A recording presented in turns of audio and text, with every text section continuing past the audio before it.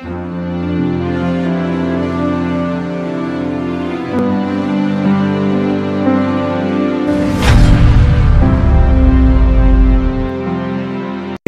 Job और urgent job इसमें लोगों का काफ़ी कन्फ्यूज़न होता है. उसके बारे में आपसे बात करने वाला हूँ. तो आइए आपका स्वागत है. मेरा नाम है डॉक्टर दीपक केड़कर. मैं मनोविकार सेक्स रोग सम्मोहन तथा व्यसन तज्ञ हूँ. महाराष्ट्र में अकोला में हमारा हॉस्पिटल है. क्या होता है कि लोगों को इम्पोर्टेंट जॉब कौन से है और अर्जेंट जॉब कौन से इसमें समझता नहीं। है और ये बहुत मतलब वियर्ड बात है ना, दुख की बात है। कोई भी जॉब यदि इम्पोर्टेंट है और वो आप करते नहीं हो तो वो अर्जेंट हो जाएगा और फिर आपको करना ही पड़ेगा। तो हमको क्या करना पड़ेगा? जो भी हमको काम करना है दिन भर में या अपने लाइफ में, उसमें इंपॉर्टेंट जॉब कौन से कौन से? महत्व के कौन से। हैं और महत्व के जॉब यदि है तो महत्व के जॉब को हम पहले करते रहते हैं, या पहले करेंगे तो वो अर्जेंट होंगे नहीं। फिर सवाल आता है कि इंपॉर्टेंट जॉब है कौन से? फॉर एग्ज़ाम्पल अभी मेरा दांत थोड़ा सा दर्द कर रहा है। थोड़ा सा है, मामूली सा है। अभी मैं उसके तरफ़ ख्याल देता नहीं हूँ। तो वो इंपॉर्टेंट बात है कि मेरा दांत थोड़ा दर्द कर रहा है। मैंने ख्याल नहीं दिया क्या हो जाएगा कि दो दिन में वो अर्जेंट काम हो जाएगा? इतना दर्द करेगा कि मुझे अभी डॉक्टर के पास जाना ही पड़ेगा। उस दिन वो इतना अर्जेंट हो जाएगा कि बाकी सब काम मेरे को छोड़ के डॉक्टर के पास जाके वो दांत को ट्रीटमेंट करनी पड़ेगी। इंपॉर्टेंट क्या है? इंपॉर्टेंट एक्सरसाइज करना। यदि इंपॉर्टेंट काम जो एक्सरसाइज करने का है, वो मैं करते, करता नहीं हूँ और मेरे को उसके लिए टाइम नहीं है तो फिर क्या होगा? टाइम नहीं टाइम नहीं, ऐसा करूँगा, मैं इंपॉर्टेंट जॉब है, एक्सरसाइज करना, फिट रखना, वो मैं कर नहीं रहा हूँ। एक दिन अटैक आ जाएगा ना, एक दिन कोई बीमारी आ जाएँगी।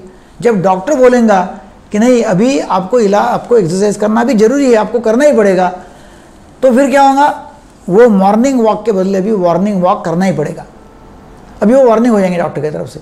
अभी हो गया वो वार्निंग एक्सरसाइज तो मॉर्निंग एक्सरसाइज नहीं, अभी वार्निंग एक्सरसाइज हो जाएगी। कंपलसरी करना पड़ेगा। इंपॉर्टेंट क्या है? रोज एक्सरसाइज करना। अर्जेंट क्या हो जाएगा? रोज एक्सरसाइज करना। अभी अर्जेंट हो गया। आपकी गाड़ी खराब हो गई। उस दिन अर्जेंट आपको डॉक्टर, अपना मैकेनिक के पास जाना पड़ेगा। गाड़ी खराब हो गई तो। मगर गाड़ी खराब होने के पहले आपने ये देखा नहीं कि उसको मैंने सर्विसिंग नहीं किया। उसके बराबर रिपेयरिंग नहीं किया। जो भी आवाज़ आ रही थी उसकी तरफ़ देखा नहीं।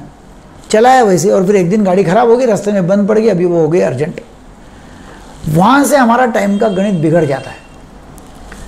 यदि बच्चों की तरफ़ ख्याल देना, बच्चों को, बच्चों का पालन पोषण बराबर करना, बच्चों के स्कूल में जाना वो स्कूल में बराबर कर रहे कि नहीं, पढ़ाई कर रहे कि नहीं, वो देखना ये इंपॉर्टेंट है। हम वो करते नहीं है। और यदि वो इंपॉर्टेंट हम करेंगे नहीं तो एक दिन फिर स्कूल से आपको लेटर आएगा या जवाब आएगा कि भाई आप जल्दी से जल्दी अर्जेंटली मिलो, क्योंकि आपका लड़का पिछले एक महीने से स्कूल में नहीं आ रहा है।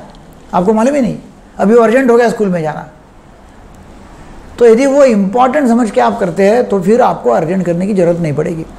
वैसे इलेक्ट्रिक बिल हो टेलीफोन बिल हो, कोई भी बिल आपको भरने के है टैक्सेस है, जो भी है, सभी इंपॉर्टेंट बातें हैं। तो आपने क्या करना है कि कोई भी, जो भी इंपॉर्टेंट वर्क है आपके, उसके सामने तारीख डालो, उसके सामने समय डालो और वो तारीख पे, वो समय पे वो इंपॉर्टेंट जॉब करने का है।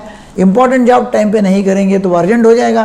फॉर एग्ज़ाम्पल और एक बताता हूँ एग्ज़ाम्पल कि समझो अभी अपनी खुद का चेकअप करने का है। अब खुद का चेकअप चेकअप करना ज़रूरी है। ब्लड टेस्ट करना, खुद का चेकअप करना ज़रूरी है। अभी वो इंपॉर्टेंट है। हमने वाला टाइम नहीं है।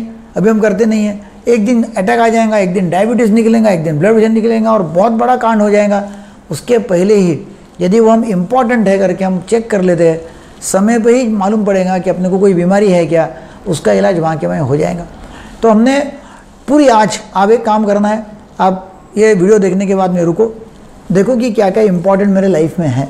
और जो भी इंपॉर्टेंट है, ज़रूरी है, जो करना चाहिए, जिसके लिए मैंने शब्द देके रखा हुआ है, वो काम इंपॉर्टेंट करूँगा, वो समय पे करूँगा और वो यदि समय पे नहीं करूँगा तो उसका फटका में मुझे बैठने वाला है, वो काम अर्जेंट हो जाएगा।